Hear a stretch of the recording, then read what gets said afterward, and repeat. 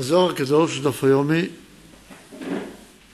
שיעור למתחילים אנחנו לומדים עמודים מ"ו עד מ"ח בפרשת שמות, שזה המאמר שמסיים לנו את מאמר ביאת המשיח, כשבו רבי שמעון בר יוחאי מגלה סודות עליונים, איך צריך לראות התיקון בגמר תיקון. ואומר שכיוון שהוסרה ממשלת בבל, התחילה ה' תחתונה דהוויה לעיר. השם השלם הוא י"ק ו"ק.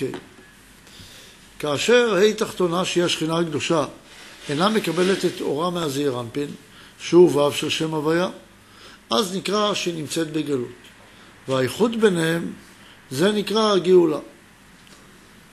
כאשר בבל, שזה בבחינת דל, שזה חוסר אמונה, דלות באמונה.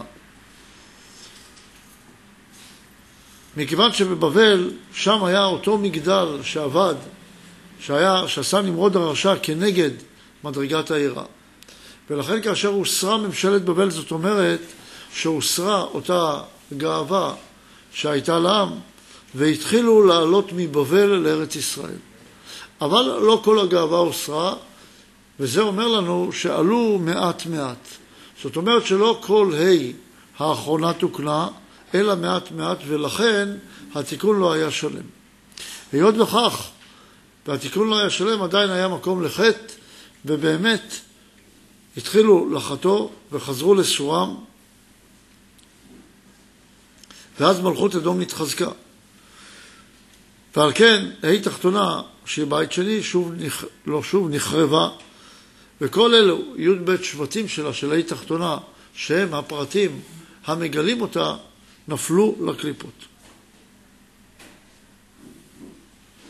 וירדו לגלות שהיא מלכות אדום. ועתה כאשר ירדו למלכות אדום, צריכים לעשות שוב את, את בית התיקונים, גם של בית ראשון וגם של בית שני. בדומה למה שעשה יעקב, שהיה צריך לתקן גם מצד אברהם וגם מצד יצחק. שבית התיקונים חייבים להיות על פי הפרטים שמגלים את השכינה הקדושה, כי היא זו שצריכה להתגלות. על כן התיקון יהיה בבחינת י"ב, בבחינת הו"ו, שהוא זמן היגיעה, שהנוקבה צריכה לעשות כדי להתחבר לזעיר אנפין. היות וו"ו הוא מבחינת ו' מצד הזעיר אנפין, שמקבל את אורו מבינה, כי התיקון צריך להיות ממדרגת הבינה. אז הו"ו הוא מדרגת 66, או, וה-66 האלה זה זמן היגיע שצריך לגלות את בחינת הנוקבה. וכאשר אנחנו רואים שהמלכות בבית שני נפרדה מהזירנפין, מי שצריך לחבר אותה זה היסוד. ואז הצדיק עבד, ואין איש שם על הלב, דהיינו לא אכפת. זאת אומרת, גם אם אדם מרגיש, נאבד לי נקודת הקישור הזו ללב שאוהב השם, כבר לא אכפת. האדישות מזה שהאדם איבד את הרוחניות שלו, כאשר האדם כבר לא חש, לא מרגיש את כובד המשקל, את הצער הגדול, אז זה נקרא צדיק עבד ואין איש שם עליו. וכך קרה בבית שני, ואז היה פירוד בה' בית שני.